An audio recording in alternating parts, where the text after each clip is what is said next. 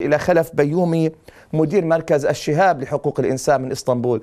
سيد خلف صحيفة إيطالية أخرى قالت اختفوا في مصر جوليو وآخرون. استخدمت رقم 500 أو استخدمت 533 صورة للمختفين قسريا في مصر. هل نتحدث عن هذا الرقم أم عن أكثر من ذلك؟ تعدى هذا الرقم بكثير. في نهاية 2015 وصل رقم الذي استطعنا أن نحصره ونوثقه في الإخفاء القسري إلى 1850 حالة إخفاء قسري معنى ذلك أن حالات الإخفاء القسري تعدت هذا العدد. من بداية 2016 حتى الآن ازدادت الحالة خاصة مع بداية موجة اعتراضات تمثلت في 25 يناير ثم بعد ذلك في جمعة الأرض 15 4 ثم 22 4 بعد ذلك كان هناك حالات إخفاء قسري كان هناك حالات إخفاء قسري في محافظات بعينها كمحافظة بني سويف ومحافظة الإسكندرية ومحافظة الجيزة. كان حالات الإخفاء القسري أعداد مضطردة لدرجة أن وصلت الإخفاء القسري في فترة من الفترات في محافظة الإسكندرية إلى ما يقرب من 60 واحد كانوا مختفين. ما هي ما هي أرجح الروايات في مصير المختفين قسريا؟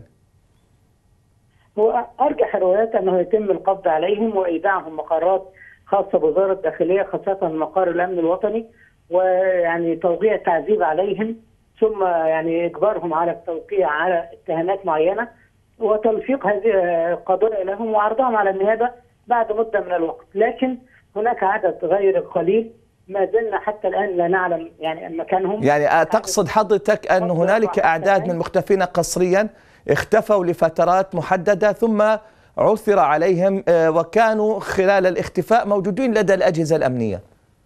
وأغلبهم تم عرضه على قضايا عسكرية وأغلبهم تم يعني إجباره على اعتراف حتى أن بعض الناس قاموا بتمثيل جرائم معينة الحادثه المشهورة حادثه سد البلوعات في مدينة الإسكندرية حينما فوجئنا بفيديو لوزارة الداخلية يعرض المتهمين وهم يمثلوا كيف قاموا بسد البلوعات وبعد ذلك قرر أمام النيابة بانهم تعرضوا لتعذيب شديد. ثم فوجئنا بعد ذلك بجهات رسمية في الإسكندرية تقول أن البلوعات سبب الرئيسي ما حدث من توسعة شاطئ الإسكندرية يعني أمور فنية بحتة. نعم طب دعنا نربط هذا بالحملة. التي أطلقها نشطاء بعدة لغات لإنقاذ المعتقلين تحت شعار عايز أتنفس. ونحدث المشاهد عن الظروف التي يعيشها المعتقلون السياسيون داخل السجون المصرية حاليا. سيدي حملة عايزة تنفس حملة إنسانية أخلاقية بالدرجة الأولى.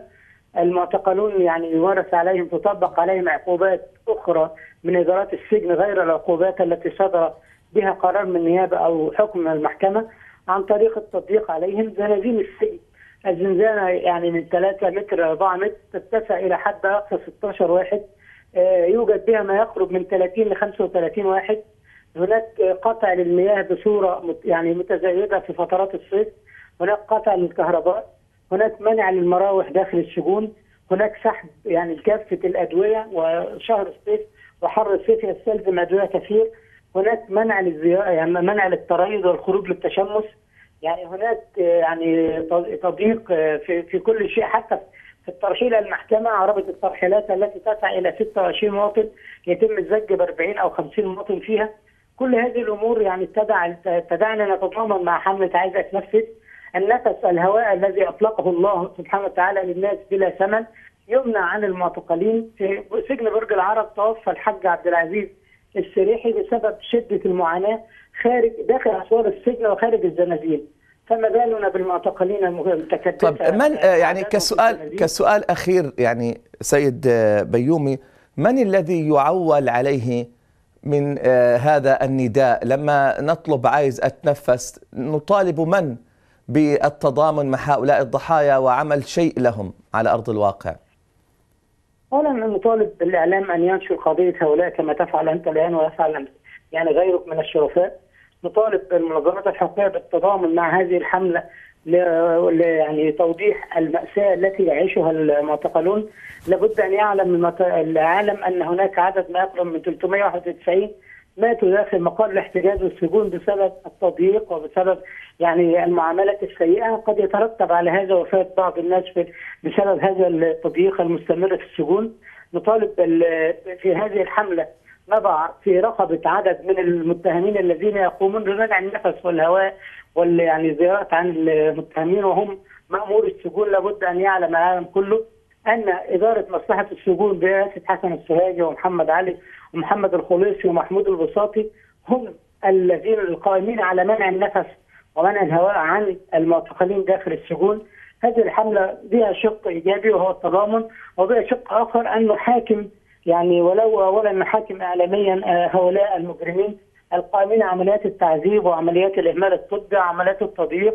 وعمليات التفتيش المستمرة بلا سبب وعمليات منع الأدوية وعمليات سحب الأغطية وعمليات يعني أنا أضرب مثال يعني في أخيرا يعني في كان في سجن في سجن من السجون كان كل المتهمين في عنبر واحد 22 وكان يقول انه لا مكان آخر لابد أن نتحمل هذا العدد ثم بعد ذلك تم فتح عنبر كامل 21 وتم عنبر فتح عنبر 23 وتم فتح عنبر 24 وتم فتح عنبر اذا كان بامكان إدارة السجن من البداية أن تفتح وأن تخفف الأعداء داخل السجون ولكن للاسف هي سياسه يراد بها يعني التضييق على المساجين نعم. والتضييق على المعتقلين ووضعهم في يعني حالة من يعني محاولة الإهانة أو محاولة الحط من الكرامة أو محاولة يعني الإذلال أو محاولة يعني إثنائهم عن قضيتهم الأساسية. أشكرك جدا خلف بيومي مدير مركز الشهاب لحقوق الإنسان كنت معنا من إسطنبول.